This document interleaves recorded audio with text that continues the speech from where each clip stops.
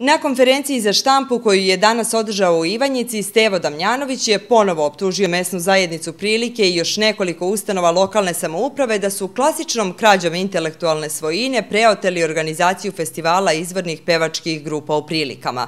Ovaj festival, kaže Damjanović, autorski je osmislio, zaštitio kod nadležnih institucija i od 2001. do 2003. pune tri godine samostalno organizovao bez dinara tuđe pomoći.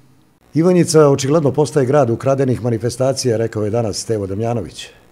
Baš kao i u slučaju Nušićijade, lokalna samouprava kao pravi kradljivac intelektualne svojine najpre sačeka da kreativni i sposobni ljudi osmisle kulturnu manifestaciju, ulože silne napore da ona zaživi, a kad je narod od srca prihvati, onda je prosto prisvoje i proglase opštinskom.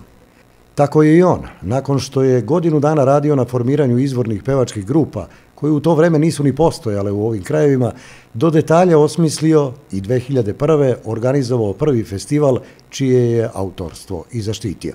U 2001. godini osnovano je 18 pevačkih grupa u opštini Ivanjica i došao sam na ideju da se pravi festival. Festival je krenuo 2001. godine organizovao sam u Ivanjici u Domu kulture bez jednog jedinog dinara pomoći lokalne samuprave. Na radio Javoru je kao promociju izvorne pesme dva puta nedeljno išla emisija u kojoj su uživo gostovali izvorne grupe.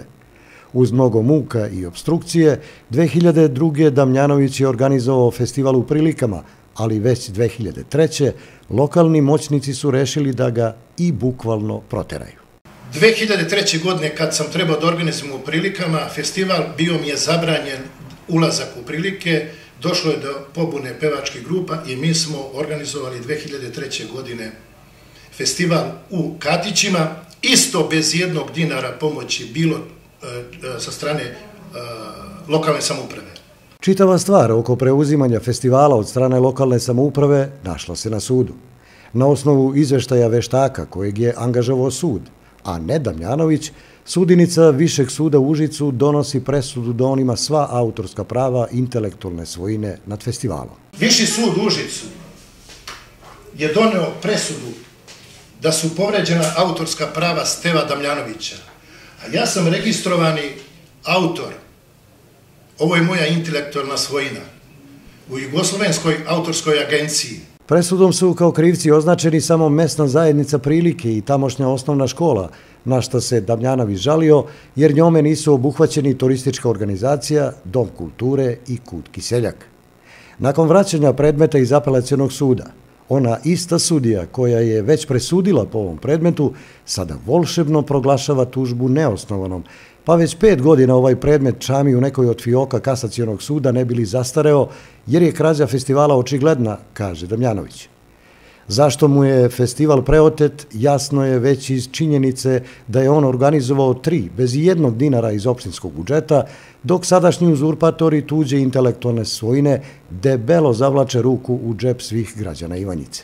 Za 16 godina koliko je para dato u prilike za festival, Ako sam ja organizovao tri festivala bez jednog jedinog dinara pomoći lokalne samuprave, a vratite se, za za 2019. godinu opredeljeno je za prilike ove godine milion i 50 hiljada. Da se vratimo 16 godina unazad i da se vratimo šta je su prilike uradile za tu mesnu zajednicu od, tih, od tog festivala. Znači, zbog ovoga neko će otići u zatvor. Ovo je čist kriminal, i lopovluk. Ja to javno kažem i teraću pravdu dok sam živ. Stevo Damljanović kaže da se uzurpatori njegovog autorskog dela nisu potrudili ni da makar malo promene koncepciju ili scenario, osim što su Javorov list u znaku festivala, koji je simbol ovog kraja, zamenili satelitskom antenom, koja nema ama baš nikakve veze sa izvornom narodnom muzikom. Čak i time su pokazali svoj dilentantizam, rekao je Damjanović.